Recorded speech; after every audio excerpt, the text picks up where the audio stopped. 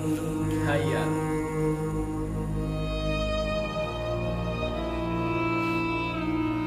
ਵੱਖ ਨਨਕਾਣਾ ਤੇ ਸਾਡੇ ਤੋਂ ਵੱਖ ਕਰਤਾਰ ਕੀਤਾ। ਦੂਰ ਲਾਹੌਰ ਤੋਂ ਸਾਹਿਬ ਦਰਬਾਰ ਕੀਤਾ। ਅੱਡ ਅਮੀਆਂ ਤੋਂ ਸੋਹਣੇ ਪੁੱਤ ਹੋਏ।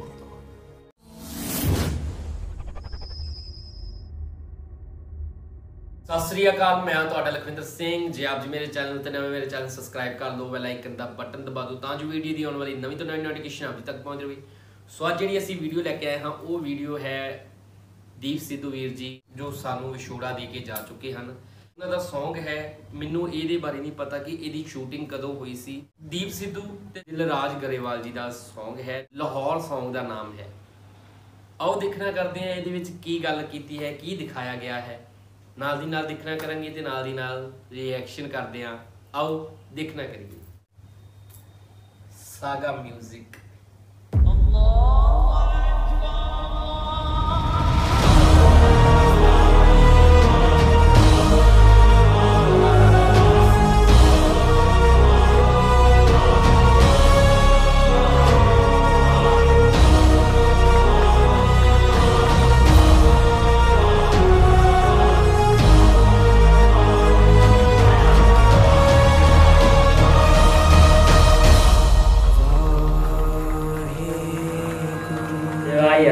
ਯਾਰ ਜ਼ਿਆਦਾ ਰਹੇ ਯਾਰ ਸੋਹਣੇ ਪੰਜਾਬ ਦੇ ਵਰਗੇ ਆਪ ਦਾ।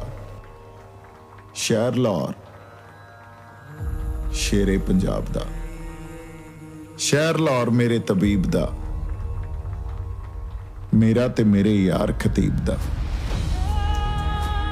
ਯਾਦਾਂ ਨਿੱਕੀਆਂ ਦੀ ਕਹਾਣੀ ਬੇਹਿਸਾਬ ਬਣ ਗਈ। ਸਾਡੇ ਦੋਹਾਂ ਦੀ ਕਲਮ ਚੋਂ ਇਹ ਕਿਤਾਬ ਬਣ ਗਈ। ਜੇ ਅਸੀਂ ਲਾਹੌਰ ਪੜ੍ਹਦੇ ਹੁੰਦੇ ਕਾਸ਼ ਅਸੀਂ ਲਾਹੌਰ ਹੀ ਪੜ੍ਹਦੇ ਹੁੰਦੇ। ਮੈਂ ਸੁਰਜੀਤ ਅੱਜ ਇਹੀ ਕਿਤਾਬ ਤੁਹਾਡੇ ਹਵਾਲੇ ਕਰਨਾ ਹੈ।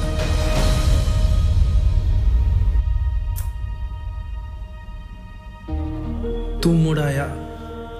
ਮੇਰੀ ਰੂਹ ਦੱਸਦਾ ਹਾਏ ਯਾਰ ਕੀ ਬਾਤ ਹੈ ਯਾਰ। ਮੇਰੀ ਉਡੀਕ ਨੂੰ ਪਈ ਠੱਲ ਮੀਆਂ। ਤੂੰ ਸਦਾ ਲਈ ਸੁਰਜੀਤ ਮੇਰੇ ਕੋਲ ਰਹਿ ਜਾ। ਐਸਾ ਕਰ ਤੇ ਕੋਈ ਹੱਲ ਮੀਆਂ ਮੈਂ ਖਤੀਬ ਜਿੰਦ ਤੈਥੋਂ ਵਾਰ ਦਿਆਂ ਜੇ ਤੂੰ ਇੱਕ ਪੈਰ ਪੱਟੇ ਮੇਰੇ ਵੱਲ ਮੀਆਂ ਹਾਏ ਹਾਏ। ਇਕੱਠਿਆਂ ਹੱਸਦੇ ਵੀ ਰੋਂਦੇ ਵੀ ਥੋੜਾ ਥੋੜਾ ਲੜਦੇ ਹੁੰਦੇ ਸਾਡੀ ਆਸ ਦੀਆਂ ਟਾਹਣੀਆਂ ਨੂੰ ਫੁੱਲ ਪੈਂਦੇ। ਕਾਸ਼ ਅਸੀਂ ਲਾਹੌਰ 'ਚ ਪੜਦੇ ਹੁੰਦੇ। ਕਾਸ਼ ਅਸੀਂ ਲਾਹੌਰ 'ਚ ਪੜਦੇ ਹੁੰਦੇ।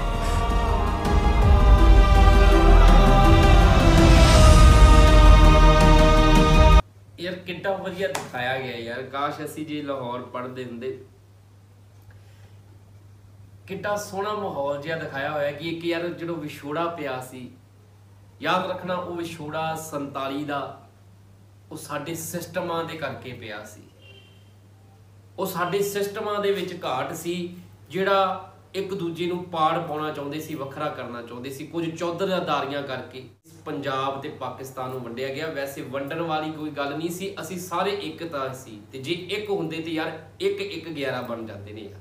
ਉਸ ਵਿੱਚ ਜੋ 47 ਵੇਲੇ ਜੋ ਹਾਦਸੇ ਹੋਏ, ਕਈ ਘਰ ਬੇਕਾਰ ਹੋਏ, ਕਈ ਮਾਵਾਂ ਦੇ ਪੁੱਤ, ਕਹਿ ਲਈਏ ਭੈਣਾਂ ਦੇ ਭਰਾ, ਭੈਣਾਂ ਦੇ ਸੁਹਾਗ ਉੱਜੜ ਗਏ ਆ ਹੱਸਦੇ ਵਸਦੇ, ਪਰਿਵਾਰ ਹੱਸਦੇ ਵਸਦੇ, ਘਰ ਉੱਜੜ ਗਏ।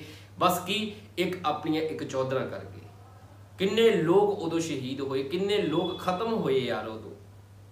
ਪਰ ਯਾਰ ਇੱਕ ਫੈਸਲਾ, ਇੱਕ ਚੌਧਰਦਾਰੀ ਕਰਕੇ ਜੇ ਸੰਸਾਰ ਦਾ ਪੂਰਾ ਉਜਾੜਾ ਕਰਨਾ, ਤੇ ਉਹ ਕਿਸੇ ਕੰਮ ਦਾ ਤੁਹਾਡਾ ਸੁਣਾਇਆ ਹੋਇਆ ਕੋਈ ਫੈਸਲਾ, ਕੋਈ ਮਾਇਨੇ ਨਹੀਂ ਰੱਖਦਾ, ਜੇ ਜ਼ਿੰਦਗੀਆਂ ਬਰਬਾਦ ਕਰਦਾ ਹੈ ਕਿਸੇ ਦੀਆਂ ਦੇ ਸੋ ਉਹੀ ਗੱਲ, ਆਓ ਦੇਖੀਏ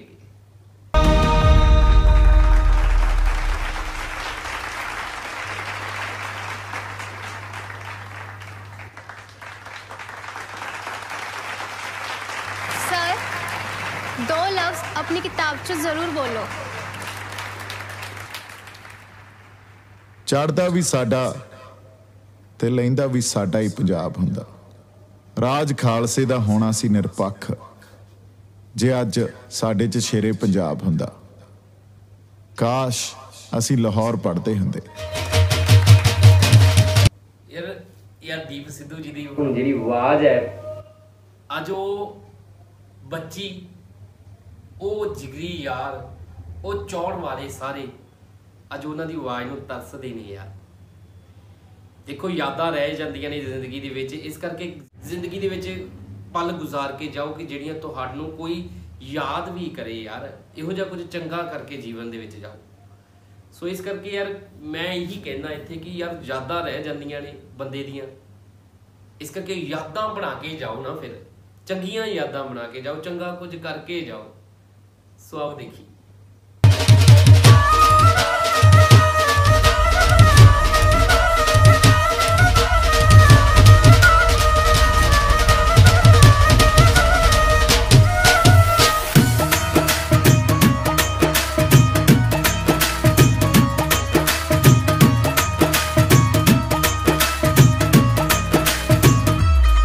ਆਓ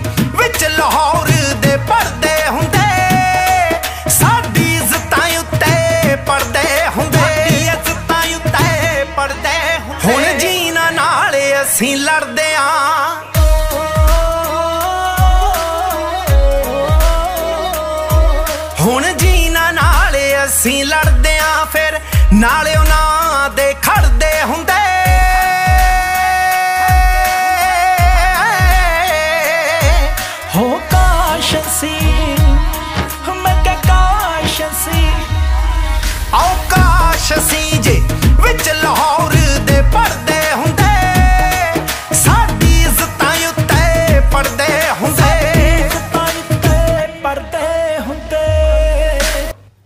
ਦੇਖੋ ਕਿੱਡੀ ਵਧੀਆ ਗੱਲ ਇਹਦੇ ਵਿੱਚ ਕਹੀ ਕਿ ਕਾਸ਼ ਜੇ ਅਸੀਂ ਲਾਹੌਰ ਪੜ੍ਹਦੇ ਹੁੰਦੇ, ਸਾਡੀਆਂ ਇੱਜ਼ਤਾਂ ਉੱਤੇ ਪੜ੍ਹਦੇ ਹੁੰਦੇ। ਜਿਹੜਾ ਉਹ ਇਤਿਹਾਸ ਬਣਾਇਆ ਗਿਆ 47 ਦਾ ਤੇ ਸ਼ਾਇਦ ਉਹ ਅੱਜ ਪੜਦਾ ਹੁੰਦਾ। ਸ਼ਾਇਦ ਅਸੀਂ ਇੱਕ ਹੁੰਦੇ, ਸਾਰੇ ਇੱਕ ਹੁੰਦੇ।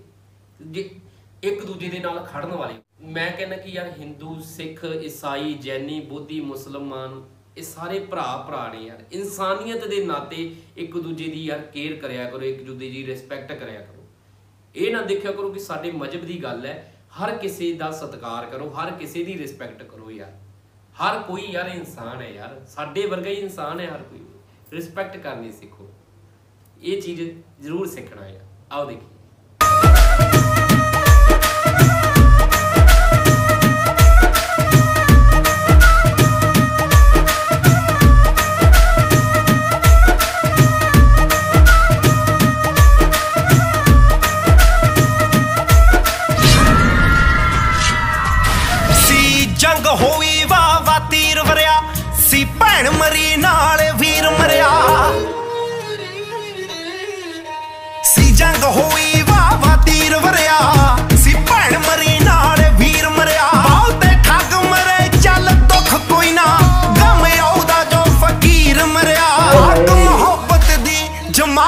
ਹੁੰਦੀ ਐ ਵਜ਼ੀਰ ਉਥੇ ਵੀ ਲੜਦੇ ਹੁੰਦੇ।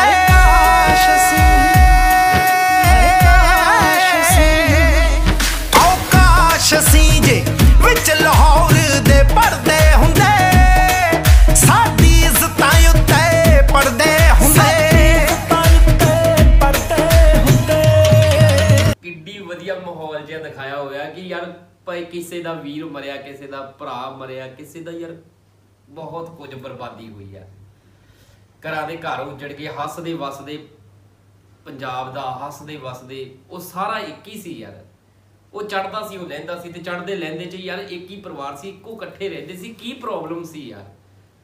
ਇਹੋ ਜਿਹਾ ਜਿਹੜਾ ਵੱਡਾ ਫੈਸਲਾ ਕਰਨਾ ਪਿਆ। ਇਸ ਕਰਕੇ ਯਾਰ ਬਹੁਤ ਸਾਡੀਆਂ ਸਿਸਟਮ ਦੇ ਵਿੱਚ ਕਮਜ਼ੋਰੀਆਂ ਨੇ, ਜਿਹੜੀਆਂ ਆਪਸ ਦੇ ਵਿੱਚ ਆਪਣੀਆਂ ਚੌਧਰਦਾਰੀਆਂ ਕਰਕੇ ਕਹਿ ਲਈਏ ਜਾਂ ਐ ਕਹਿ ਸਕਦੇ ਆ ਕਿ ਇੱਕ ਆ ਰਾਜਨੀਤੀਆਂ ਖੇਡੀਆਂ ਜਾਂਦੀਆਂ ਨੇ ਇੱਕ ਦੂਜੇ ਦੇ ਵਿੱਚ ਪਾਰ ਪਾਉਣ ਵਾਸਤੇ।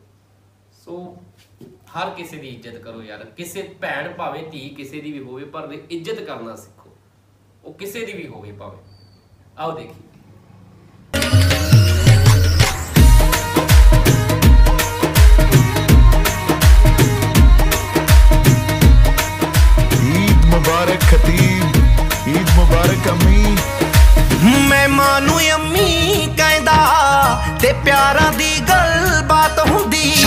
ਕੱਟਦੇ ਅੰਬਰ ਸਰ ਵਿੱਚੋਂ ਏ ਤੇ ਲਾਹੌਰ ਪਹੁੰਚਦਿਆਂ ਰਾਤ ਹੁੰਦੀ। ਹਾਏ ਹਾਏ ਹਾਏ ਮਹਿਮਾਨ ਨੂੰ ਅੰਮੀ ਕਹਿੰਦਾ ਤੇ ਪਿਆਰਾਂ ਦੀ ਗੱਲਬਾਤ ਹੁੰਦੀ। ਸ਼ਾਮਾਂ ਕੱਟਦੇ ਅੰਬਰ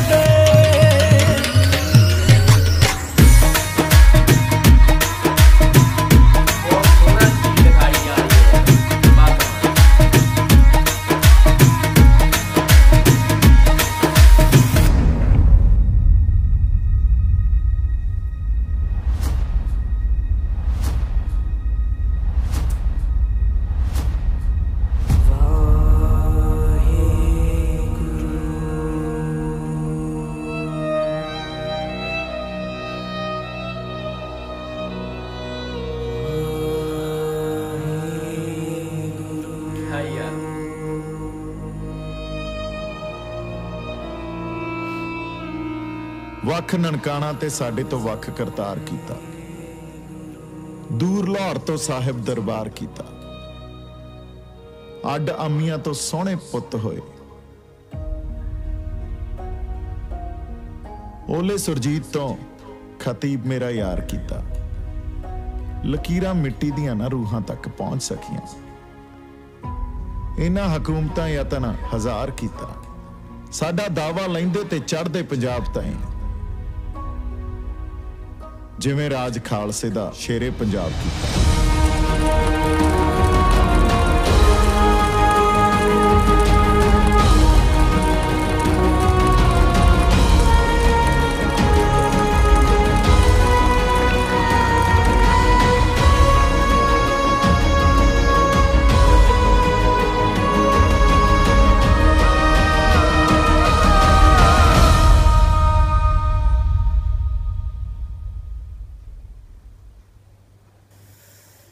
ਇਹ ਸੀ ਯਾਰ Song ਸੱਚੀ ਯਾਰ, ਜਿਹੜੀ Song ਦੇ ਵਿੱਚ ਲਾਸਟ ਦਾ ਜਿਹੜਾ ਇਮੋਸ਼ਨ ਕਰਨ ਵਾਲੀ ਚੀਜ਼ ਹੈ ਨਾ, ਬਾ ਕੀ ਦੱਸਾਂ ਯਾਰ, ਉਹ ਬਿਆਨ ਨਹੀਂ ਕੀਤੀ ਜਾ ਸਕਦੀ। ਸੱਚੀ ਯਾਰ, ਇੱਕ ਯਾਦਾਂ ਰਹਿ ਜਾਂਦੀਆਂ ਨੇ। ਕਹਿ ਲਈਏ ਕਿ ਜਿਸ ਤਰ੍ਹਾਂ ਪੰਜਾਬ ਦੇ ਵਿੱਚ ਰਹਿ ਕੇ ਵੀ ਉਹ ਯਾਦ ਕਰਦੇ ਹੋਣਗੇ ਫੈਮਲੀਆਂ ਜਿਹੜੀਆਂ ਉਜੜ ਗਈਆਂ ਉਧਰ ਰਹਿ ਗਈਆਂ। ਇੱਧਰ ਵਾਲੇ ਇੱਧਰ ਨਹੀਂ ਆ ਸਕਦੇ, ਉਧਰ ਵਾਲੇ ਇੱਧਰ ਨਹੀਂ ਜਾ ਸਕਦੇ।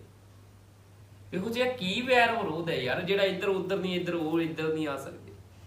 ਸਾਰੇ ਸਿਸਟਮ ਦੀ ਖਰਾਬੀ ਹੈ। ਹਰ ਕੋਈ ਇੱਕ ਹੋ ਸਕਦਾ ਹੈ, ਹਰ ਕਿਸੇ ਦੇ ਵਿੱਚ ਇੱਕ ਬਰਾਬਰਤਾ ਹੋ ਸਕਦੀ ਹੈ। ਯਾਰ, ਸਿਰਫ ਯਾਦ ਰੱਖਿਓ, ਜੇ ਕੋਈ ਲੜਾਉਂਦਾ ਹੈ ਨਾ, ਉਹ ਇਸੇ ਨਾਮ ਤੇ ਲੜਾਉਂਦਾ ਹੈ ਯਾਰ।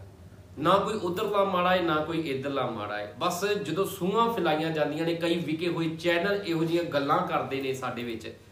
ਉਹ ਸਾਡੇ ਵਿੱਚ ਪਾੜ ਪਾਉਂਦੇ ਨੇ। ਵੈਸੇ ਆਮ ਇਨਸਾਨ ਜਿਹੜੇ ਉਧਰ ਇੱਧਰ ਰਹਿੰਦੇ ਹੁੰਦੇ ਨੇ ਉਹਨਾਂ ਦੇ ਵਿੱਚ ਕੋਈ ਇਹੋ ਜਿਹਾ ਖਾਰ ਇਹੋ ਜਿਹਾ ਵੈਰ ਵਿਰੋਧ ਨਹੀਂ ਹੁੰਦਾ। ਵੈਰ ਵਿਰੋਧ ਕਰਵਾਉਂਦੇ ਨੇ ਇਹ ਜਿਹੜੇ ਪਿੱਛੇ ਜਿਹੜੇ ਬੈਠੇ ਹੁੰਦੇ ਨੇ ਉਹ ਵੈਰ ਵਿਰੋਧ ਕਰਾਉਂਦੇ ਨੇ। ਉਹ ਕਿਉਂ ਕਰਾਉਂਦੇ ਨੇ ਕਿ ਯਾਰ ਚਾਲਾਂ ਖੇਡੀਆਂ ਜਾਂਦੀਆਂ ਇਹਨਾਂ ਦੀਆਂ। ਸੋ ਇਸ ਕਰਕੇ ਯਾਰ ਬੜਾ ਸੋਹਣਾ ਰਾਜ ਹੁੰਦਾ ਜੇ ਕਹਿੰਦੇ ਮਹਾਰਾਜਾ ਰਣਜੀਤ ਸਿੰਘ ਦਾ ਉਸ ਵਕਤ ਦਾ ਸਾਰਾ ਪੰਜਾਬ ਇਕੱਠਾ ਹੁੰਦਾ ਸਭ ਕੁਝ ਇਕੱਠਾ ਹੁੰਦਾ। ਇੱਕ ਏਕਤਾ ਹੁੰਦੀ ਸਾਰਿਆਂ ਦੇ ਵਿੱਚ, ਇੱਕ ਦੂਜੇ ਨੂੰ ਬਰਾਬਰ ਮੰਨਿਆ ਜਾਂਦਾ ਹੁੰਦਾ। ਹਰ ਕੋਈ ਆਪਣੇ ਧਰਮ ਮੁਤਾਬਕ ਹਰ ਕੋਈ ਪੂਜ ਸਕਦਾ ਹੈ, ਹਰ ਕੁਝ ਕਰ ਸਕਦਾ ਹੈ, ਪਰ ਇੱਕ ਦੂਜੇ ਨਾਲ ਮਿਲ ਵਰਤਨ ਤਾਂ ਹੁੰਦਾ ਹੀ ਆ। ਇੱਕ ਦੂਜੇ ਨਾਲ ਵੈਰ ਵਿਰੋਧ ਤਾਂ ਨਾ ਹੁੰਦਾ। ਤੇ ਅੱਜ ਕਈ ਲੜਾਏ ਜਾਂਦੇ ਨੇ, ਵੈਰ ਵਿਰੋਧ ਕਰਵਾਏ ਜਾਂਦੇ ਨੇ। ਹੁੰਦਾ ਨਹੀਂ ਹੈ, ਕਰਵਾਏ ਜਾਂਦੇ ਨੇ, ਪਰ ਯਾਦ ਰੱਖਿਓ, ਉਹ ਕਰਵਾਉਂਦੇ ਨੇ ਜਿਨ੍ਹਾਂ ਦੇ ਅੰਦਰ ਇਨਸਾਨੀਅਤ ਨਹੀਂ ਵਸਦੀ ਹੁੰਦੀ। ਜਿਨ੍ਹਾਂ ਦੇ ਅੰਦਰ ਇਨਸਾਨੀਅਤ ਨਹੀਂ ਹੈ ਨਾ, ਸ਼ੈਤਾਨੀਅਤ ਹੈ। ਉਹ ਇਹੋ ਜਿਹੀਆਂ ਹਰਕਤਾਂ ਵੀ ਕਰਦੇ ਤੇ ਇਹੋ ਜਿਹੇ ਕਰਮ ਵੀ ਕਰਵਾਉਂਦੇ ਸੋ ਬਹੁਤ ਪਿਆਰਾ ਸੌਂਗ ਯਾਰ। ਦਿਲ ਨੂੰ ਛੂਹਣ ਵਾਲਾ ਸੌਂਗ ਹੈ। ਦੀਪ ਸਿੱਧੂ ਦੀ ਆਵਾਜ਼ ਅੱਜ ਵੀ ਜਦੋਂ ਕਹਿ ਲਈਏ ਕੰਨਾਂ ਦੇ ਵਿੱਚ ਪੈਂਦੀ ਹੈ, ਇੱਕ ਯਾਦਾਂ ਬਣ ਕੇ ਰਹਿ ਜਾਂਦੀ ਨੇ। ਆਪ ਜੀ ਦੱਸਣਾ ਕਰਨਾ ਆਪ ਜੀ ਨੂੰ ਸੌਂਗ ਕਿਵੇਂ ਦਾ ਲੱਗਾ? ਆਪ ਜੀ ਨੂੰ ਮੇਰਾ ਦਿੱਤਾ ਹੋਇਆ ਰਿਐਕਸ਼ਨ ਕਿਵੇਂ ਦਾ ਲੱਗਾ? ਜੇ ਆਪ ਜੀ ਮੇਰੇ ਚੈਨਲ ਤੇ ਨਵੇਂ, ਮੇਰੇ ਚੈਨਲ ਸਬਸਕ੍ਰਾਈਬ ਕਰ ਲਓ ਲਾਈਕ ਦਾ ਬਟਨ ਦਬਾ ਦਿਓ।